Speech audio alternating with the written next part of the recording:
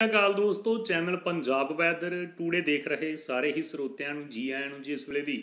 ਵੱਡੀ ਖਬਰ ਦੋਸਤੋ, ਤੁਹਾਡੇ ਨਾਲ ਸਾਂਝੀ ਕਰ ਰਹੇ ਹਾਂ ਜੀ ਹੁਣੇ-ਹੁਣੇ ਪੰਜਾਬ ਦੇ ਵਿੱਚ ਆਈ 3 ਦਿਨ।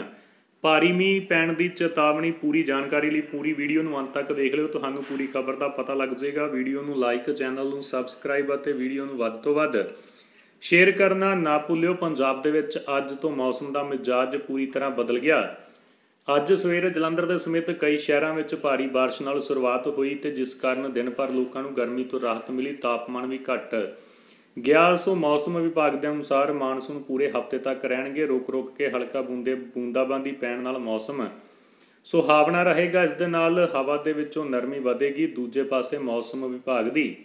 ਭਵਿੱਖਬਾਣੀ ਦੇ ਅਨੁਸਾਰ ਇਸ ਹਫ਼ਤੇ ਜ਼ਿਆਦਾਤਰ ਦਿਨਾਂ ਦੇ ਵਿੱਚ ਮੀਂਹ ਪੈਣਗੇ ਇਸ ਸਮੇਂ ਦੌਰਾਨ ਲੋਕਾਂ ਨੂੰ ਗਰਮੀ ਨਮੀ ਅਤੇ ਗਰਮੀ ਦੇ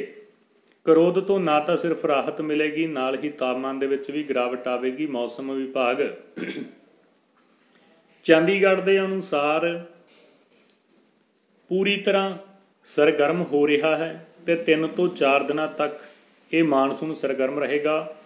ਵਿਭਾਗ ਦੀ ਪੇਸ਼ਨਗੋਈ ਅਨੁਸਾਰ ਗੁਰਦਾਸਪੁਰ ਪਠਾਨਕੋਟ ਅੰਮ੍ਰਿਤਸਰ ਕਪੂਰਥਲਾ ਜਲੰਧਰ ਨਵਾਂਸ਼ਹਿਰ ਰੋਪੜ ਫਤਿਹਗੜ੍ਹ ਸਾਹਿਬ ਮੁਹਾਲੀ ਦੇ ਵਿੱਚ ਭਾਰੀ بارش ਹੋਣ ਦੀ ਸੰਭਾਵਨਾ ਹੈ ਇਹਨਾਂ ਜ਼ਿਲ੍ਹਿਆਂ ਦੇ ਵਿੱਚ ਭਾਰੀ بارش ਦੇ ਦੌਰਾਨ ਤੇਜ਼ ਹਵਾਵਾਂ ਵੀ ਚੱਲ ਸਕਦੀਆਂ ਨੇ ਜਿਨ੍ਹਾਂ ਦੀ ਰਫ਼ਤਾਰ 30 ਤੋਂ 40 ਕਿਲੋਮੀਟਰ ਪ੍ਰਤੀ ਘੰਟਾ ਰਹਿ ਸਕਦੀ ਹੈ ਲੁਧਿਆਣਾ ਪਟਿਆਲਾ ਚੰਡੀਗੜ੍ਹ ਦੇ ਵਿੱਚ ਠੀਕ ਠਾਕ بارش ਹੋਵੇਗੀ ਉਧਰ ਬਠਿੰਡਾ ਫਿਰੋਜ਼ਪੁਰ ਦੇ ਵਿੱਚ ਦਰਮਿਆਨੀ بارش ਹੋ ਸਕਦੀ ਹੈ ਮੌਸਮ ਵਿਭਾਗ ਦੇ ਅਨੁਸਾਰ ਭਾਰੀ بارش ਦੇ ਦੌਰਾਨ ਕਈ ਥਾਵਾਂ ਤੇ ਬਿਜਲੀ ਡਿੱਗ ਸਕਦੀ ਹੈ ਦੂਜੇ ਪਾਸੇ ਪੰਜਾਬ ਦੇ ਕਈ ਜ਼ਿਲ੍ਹਿਆਂ 'ਚ ਫਿਰ ਬੁੱਧ ਜਾਂ ਵੀਰਵਾਰ ਤੱਕ ਬਹੁਤ ਭਾਰੀ ਮੀਂਹ ਪੈ ਸਕਦਾ ਹੈ ਸੋ ਕਿਸਾਨਾਂ ਨੂੰ ਵੀ ਇਹ ਸੁਚੇਤ ਕਰ ਦਿੱਤਾ ਗਿਆ ਹੈ ਜੀ ਉਧਰ ਪੀਏਯੂ ਦੀ ਮੌਸਮ ਵਿਗਿਆਨੀ ਡਾਕਟਰ ਕੇ ਕੇ ਗਿੱਲ ਨੇ ਸੁਚੇਤ ਕੀਤਾ ਹੈ ਕਿ